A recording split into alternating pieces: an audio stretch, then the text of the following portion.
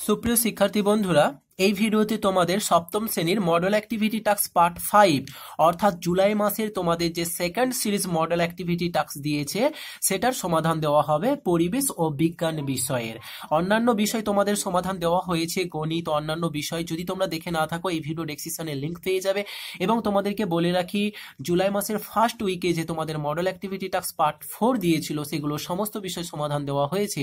যদি এখনও তোমাদের পার্ট ফোরের সমস্ত বিষয়গুলো কমপ্লিট না হয়ে থাকে যে বিষয় প্রয়োজন থাকে তোমাদের, তাহলে তোমরা এই ভিডিও ডেসক্রিপশনে লিঙ্ক পেয়ে যাবে, তোমরা দেখে নিতে পারো। তো দেখো, সঠিক উত্তর নির্বাচন করতে বলছে, এক নম্বর প্রশ্ন, অপ্রভ বস্তুর হলো অপ্রভ বস্তু। মোমবাতি, শিখা, সূর্য, চাঁদ, জোনাকি। এখানে সঠিক উত্তর হবে অপশন গ, অর্থাৎ চাঁদ। তারপর বলেছে, যেটি জীবাশ্ম, জ্বালানি নয়, সেটি হলো কয়লা, পেট্রোল, ডিজেল, গোবর, গ্যাস। এখানে বলেছে, জীবাশ্ম, জ্বালানি নয়, সঠিক উত্তর হবে অপশন ঘ, অর্থাৎ গোবর, গ্যাস। গোবর, গ্যাস বাদে বাকি সবগুলো জীবাশ্ম, জ্বালানি। তারপর বলছে, উদ্ভিদের মূলের ডোগা টুপির মতো অংশের ঠিক উপরে জায়গা যেখানে কোনো রোঁয়া থাকে না, সেটি হলো মূলত্র অঞ্চল, বর্ধনশীল অঞ্চল তারপর স্থায়ী অঞ্চল মূলরম অঞ্চল। তো সঠিক উত্তর হবে তোমাদের এটা অপশন খ অর্থাৎ বর্ধনশীল অঞ্চল। এরপর দুইয়ের দাগে বলেছে শূন্যস্থান পূরণ করো। স্ত্রীতে তড়িৎ প্রবাহের ড্যাশ ফলাফলের প্রয়োগ করা হয়, তাপীয় ফলাফল তয়াকার পয় দীর্ঘই অন্তস্থ। পরের প্রশ্ন, আমের আটি ড্যাশ ঢেকে রাখে, আমের আটি বাদামি রঙের বীজ ঢেকে রাখে।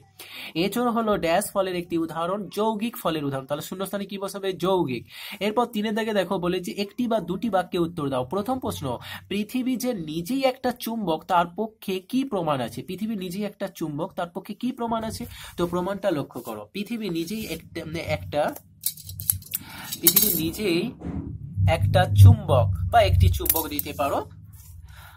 তার পক্ষে প্রমাণ এক নম্বর, একটি চুম্বক শলাকাকে মুক্ত অবস্থায় রাখলে দেখা যাবে যে চুম্বক শলাকাটির উত্তর মেরু পৃথিবীর উত্তর গোলার্ধে এবং দক্ষিণ মেরু দক্ষিণ গোলার্ধে অবস্থান করেছে।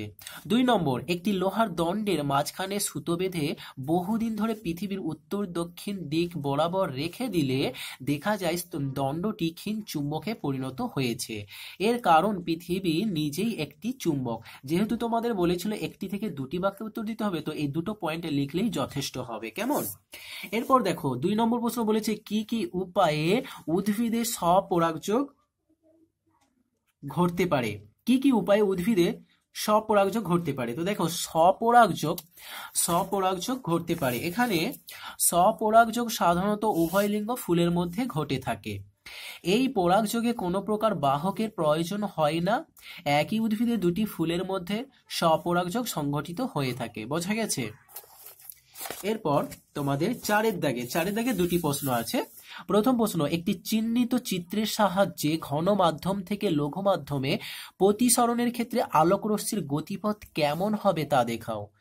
তাহলে চিত্রের মাধ্যমে দেখাতে হবে যে ঘন মাধ্যম থেকে লঘু মাধ্যমে প্রতিসরণ ক্ষেত্রে আলোক রশ্মির গতিপথ কেমন হবে। তো দেখো, চিত্রটা তোমরা প্রথমে দেখো, চিত্রের পর যদিও একটু লিখতে হবে, এখানে দেখতে পাচ্ছ পে কিউ লঘু মাধ্যম, ঘন মাধ্যম আর আছে স্মল আর এবং স্মল আই ক্যাপিটাল এন এবং ক্যাপিটাল এন ওয়ান এ এবং এটা বি আর এখানে ও আছে।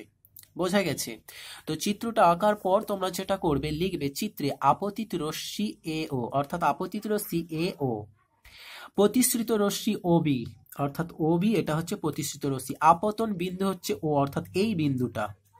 এবং আপতন বিন্দুতে দুই মাধ্যমের বিভেদ তলের উপর অঙ্কিত অভিলম্ব এন ও এন ওয়ান এই যে এন ও আর এন ওয়ান এটা হচ্ছে অঙ্কিত অভিলম্ব।